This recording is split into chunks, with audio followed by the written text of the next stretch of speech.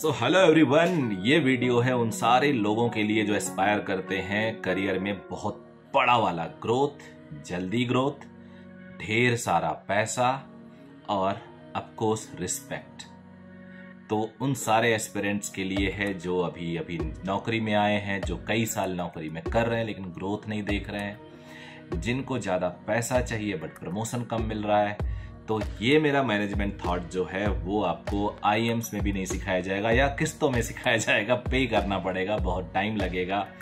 और may be you no आपको अलग से टाइम डिवोट करना पड़े बट इस यूट्यूब छोटे से वीडियो में मैं आपको देने वाला हूँ तो आखिरी तक ज़रूर बने रहिएगा बिकॉज़ आखिर में आपके अपनी स्किल के बारे में पाँच पॉइंट बताऊँगा, जो हर दिन आपको इम्प्रूव करेगी और हर दिन आपको ग्रो कराएगी, हर दिन आपका पैसा बढ़ाएगी।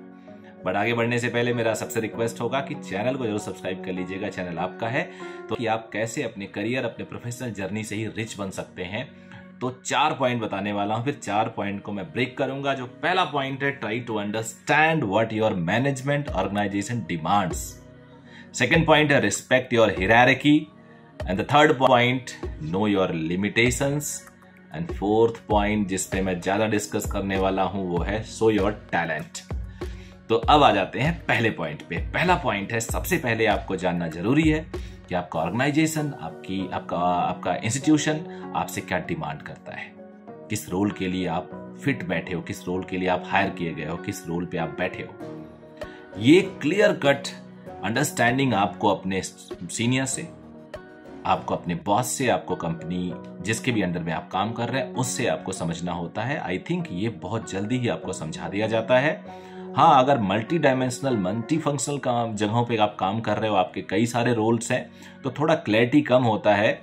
बट जितना ज़्यादा क्लैरिटी आप कर लेंगे, उतना ही ज़्यादा आप आंसरेबिलिटी के लिए बेस्ट फिट होंगे और अच्छे से आप आंसरेबल होंगे किसी भी रिस्पॉन्सिबिलिटी के लिए। मैक्सिमम लोगों को क्लैरिटी ही नहीं होती, उन्हें करना क्या है? या उन्हें क्लैरिटी होती है, लेकिन वो अपने आप को इल्यूजन में रखते हैं और अपने आप को ही नहीं क्लियर कर पाते, मुझे करना क्या है?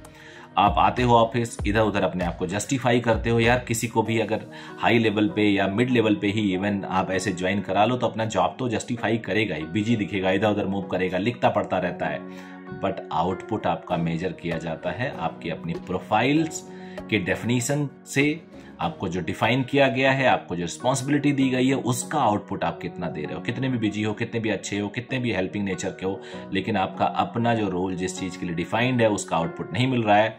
You will be you know less important person for the organisation दूसरा पॉइंट है रिस्पेक्ट योर हिरारकी बहुत सारे लोगों को मैं जानता हूँ, बहुत सारे ऑर्गेनाइजेशन में ऐसा देखता हूँ कि एक बंदा जो नीचे हायर किया गया है, सीधे बॉस के केबिन में जाके गुड मॉर्निंग सर या एक ऑफ़िस बॉय ऑफ़र किया गया, उसकी रिस्पॉन्सिबिलिटी नहीं है कि सीईओ को चाय दे सीईओ को चाय देने के लिए कोई और है, लेकिन वो जाके उसको गुड मॉर्निंग बोल दिया। एक मैनेजर है जूनियर लेवल पे, वो जाके सीधे अपने दो बॉस ऊपर, यानी हिरकी में दो तीन ऊपर वाले को गुड मॉर्निंग गुड सर कुछ भी अपना काम दिखाने के लिए। या सीधे फ़ोन कर दिया कि सर वो मेरे बॉस का फ़ोन इस टाइम बिज़ी जा रहा था, बड़ा अर्जेंट काम था, मैंने सोचा आपको कर दे। प्लीज़ प्लीज़ प्लीज़ मत करिए मत करिए, बर्बाद होने वाले हैं। अगर आप ऐसा कर गए तो बहुत ही जल्दी आप का जो ये नेचर है ना, वो बाहर कर सकता है आपको कंपनी से और आपको काफ़ी डेंट कर सकता है आपकी अपनी प्रोफ़ाइल पे, आपकी अपनी यू नो क्रेडिबिलिटी पे, जो फ्यूचर में जाके नुकसान ही करेगा और डिले कर देगा आपके प्रमोशंस बाकी चीज़ों को। अगर इवन इफ़ आप बहुत अच्छा एक अच्छे अच्छे टैलेंटेड पर्सन होंगे तो भी। तो यानी हिरकी को, उतने लोगों को ही आप सम्मान दो या मिल, सम्मान सबको दो। रिपोर्ट करो या पूछो या बात करो, जहाँ पे आपको डिफाइन किया गया। नेसेसरी आपको किसी भी डिपार्टमेंट में जाके पोक्ट करने की ज़रूरत नहीं है। थर्ड पॉइंट था नो योर लिमिटेशन आपको यही सेकंड पॉइंट से ही जुड़ा हुआ मसला है ये, कि आपको पता होना चाहिए कि आपकी क्या लिमिटेशंस हैं, कितने डिसीज़न आप ले सकते हो, कहाँ पे आपको बॉस को इंटरवीन करना पड़ेगा। कई कई बार कुछ डिसीज़न आप अगर लेते हो, बिना बॉस को इन्फॉर्म कराए even if the decision is good for the organisation some time then also it may went wrong तो ये भी गड़बड़ हो जाता है, और आपको इसके लिए अपनी रेपुटेशन लॉस अपनी यू नो बाकी चीज़ें आपको नुकसान उठानी पड़ती हैं। So try to be in touch with your immediate boss उनको कॉन्फिडेंस मिलो और कोई भी ऐसा डिसीज़न जिसके लिए आप डायरेक्टली ऑथराइज नहीं है, मत लीजिए।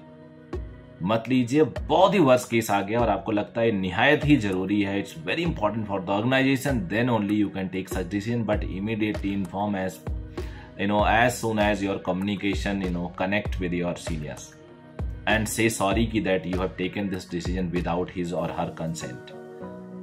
तो ये होगा आपके लिमिटेशन लिमिटेशन आपको पता होगा you will be working very fine way अब आ जाता है चौथा पॉइंट फोर्थ पॉइंट पे मैं आपको बताने वाला हूँ, वो सारे मैनेजमेंट ज्ञान जो आपको चाहिए।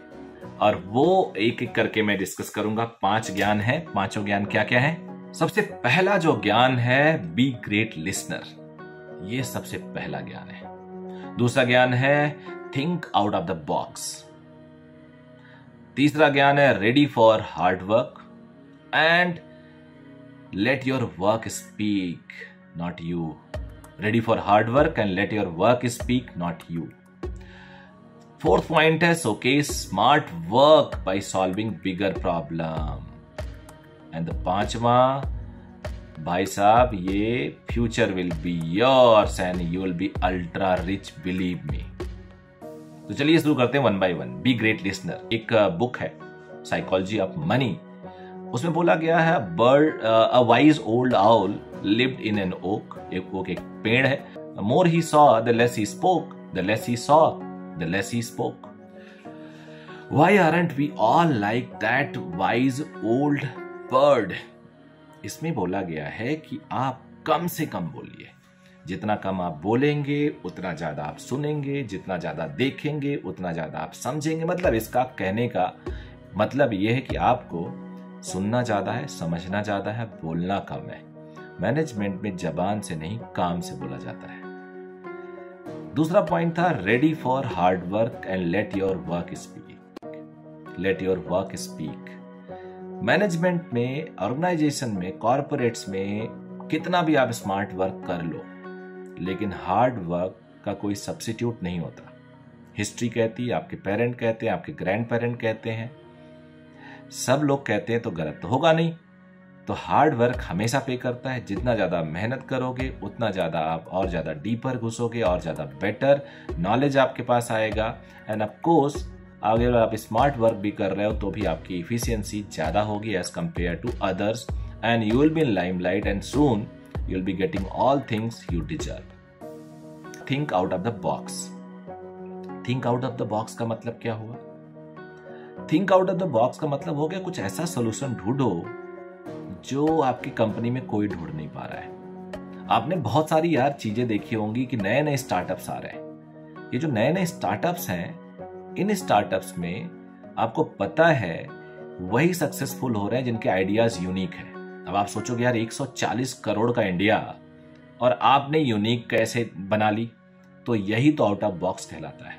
Out of the box thinking का मतलब हुआ, आप ऐसा सोच रहे हो जो सबसे अलग है। या फिर आप सोच रहे हो, कई और लोग सोच रहे हैं, लेकिन आपने उस पर वर्क कर दिया। यू हैव स्टार्टेड अर्ली और suppose five other peoples have started at the same time but you finished in a good way in a most effective way तो out of the box thinking ये होता है। Think out of the box अब आ जाते हैं fourth point पे सो के smart work by solving bigger problem अगर आपने अपने सीनियर की, अपने मैनेजमेंट की कोई बड़ी प्रॉब्लम सॉल्व कर दी, जो उससे परेशान है, उनको सोल्यूशन नहीं दिख रहा है, बहुत ज़्यादा कैश इन्वॉल्वमेंट है, बहुत ज़्यादा मनी इन्वॉल्वमेंट है उसमें, और आपने उसको इजिली सॉल्व कर दिया तो भाई साहब, फिर कुछ बचा नहीं है आपको। बहुत जल्दी आप ऊपर आने वाले हो, आपका फॉर्चून खुलने वाला है। और पांचवा point last but not the least future will be your your future will be ultra rich आप बहुत ऊपर जाने वाले हो। You will be ultra rich person आपका फ्यूचर होने वाला है बहुत बढ़िया ब्राइट पैसे वाले कंपनी के सीईओ हो सकते हो आप। बहुत जल्दी कंपनी के टॉप मैनेजमेंट में आपका नाम होगा, ये गारंटीड है। तो आई एम श्योर इस वीडियो से आपने कुछ सीखा होगा। आई होप आपको अच्छा लगा होगा। प्लीज़ अपना कमेंट करके बताइए मुझे कैसा लगा सो so दैट मैं कुछ और वीडियोज़ आप लोग के लिए बनाऊँ। कमेंट ज़रूर करें